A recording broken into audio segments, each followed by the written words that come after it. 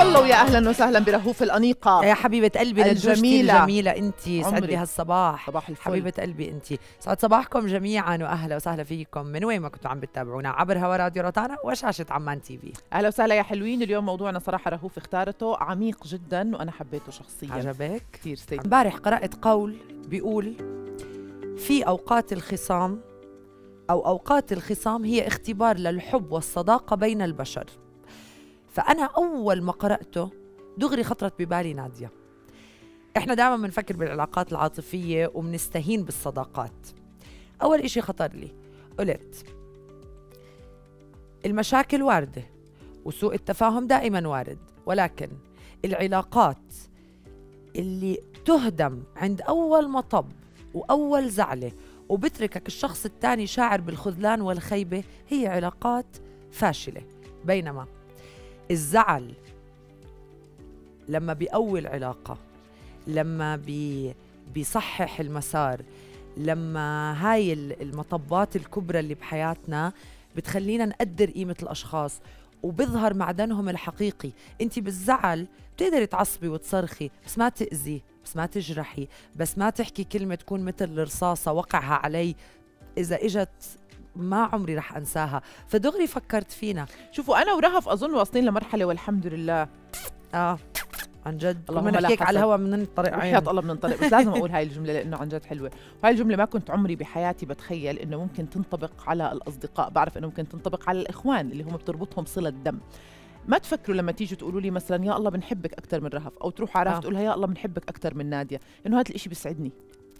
ما تفكروا إنه قدامي إذا حكيتوا كلمة غلط عن رهف أنا رح أضل ساكتة ومستكينة وأهز براسي. إحنا وصلنا إلى مرحلة شوفوا الدفاع عن الآخر في غيابه واكن له ما أظهر له. أنا بحس هاي هي جوهر العلاقات الإنسانية. صح. وحدة الحال. وصلنا إلى وحدة حال. نشتغل مع بعض. في تنافسية موجودة. طبعاً. كل واحد بيحاول يعمل أحسن ما عنده. الآخر نجاحه بيستفزه.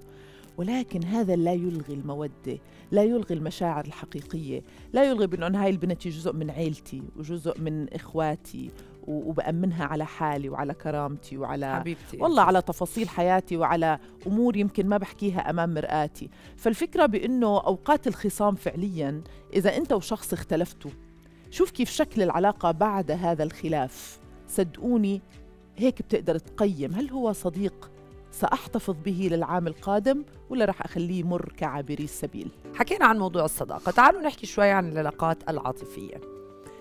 نموذج A نموذج B. علاقة عاطفية واحد شاب وصبية تعرفوا على بعض عم بيحكوا مع بعض صار بينهم زعل تخانقوا.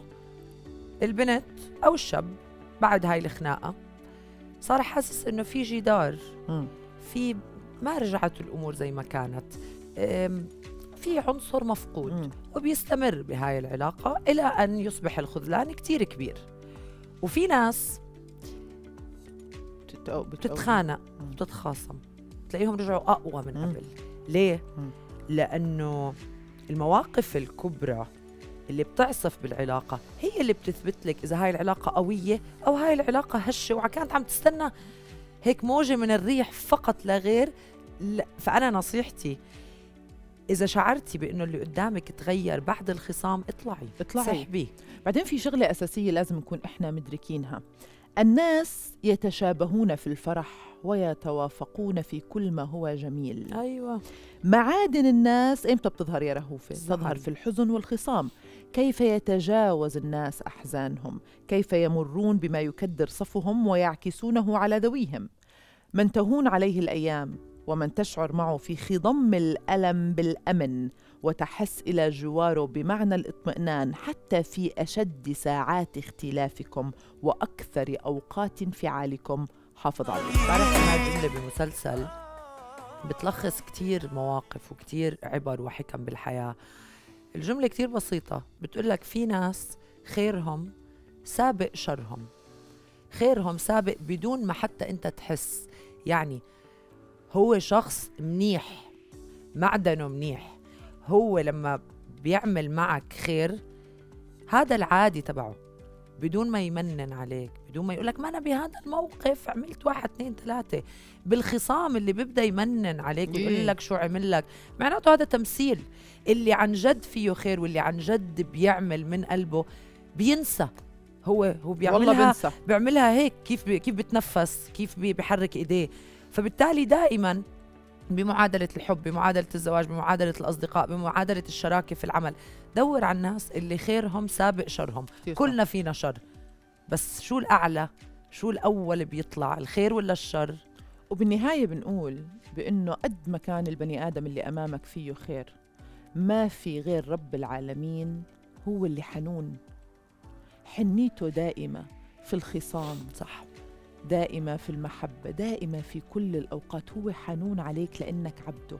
بقول لك كل الذين اتجهوا لله بأجنحة مكسورة عادوا وهم يحلقون. عمرك ما تعتمد على بني آدم وإنت مكسور. قد ما كان طيب وقد ما كان حنون.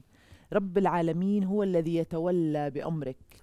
وإذا بتتجه له بالدعاء وبس بتقول له يا رب وعلى فكرة احكي معه بلغة عامية. رب العالمين ما بده بلاغتك وفصاحتك. رب العالمين بده صدقك.